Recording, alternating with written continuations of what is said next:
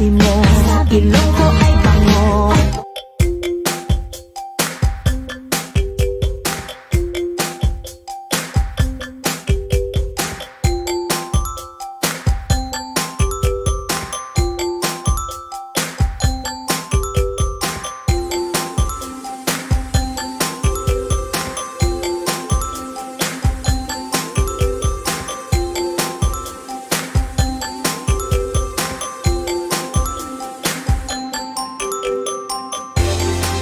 meron talagang nangyari sa akin dati na naiyak talaga ako. Sabi ko, ayoko na mag-TikTok. Ganito pala yung TikTok world. Sabi ko, grabe sila talaga manglait.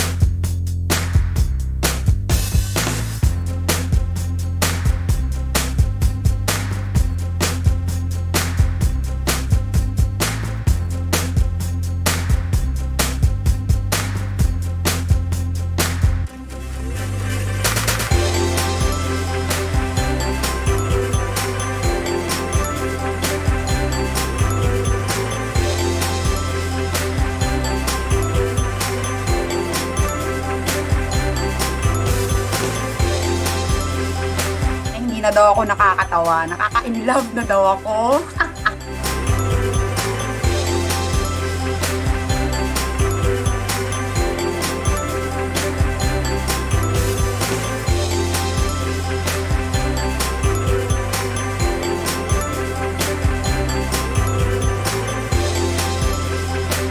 Oo, totoo naman na confident na ako dati. Uh, tawag doon, ah, kontento na ako. Pero yung mga pagkakataon na binibigay sa atin, ah, yun, parang yun yung magiging way para mas lalo tayong maging masaya sa buhay.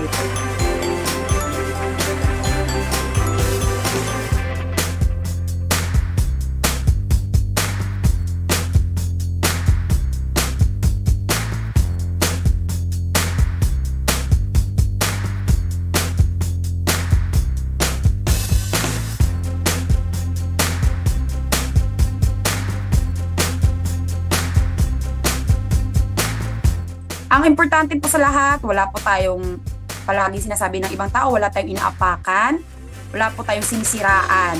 Ayan. As long as happy tayo sa ating mga sarili.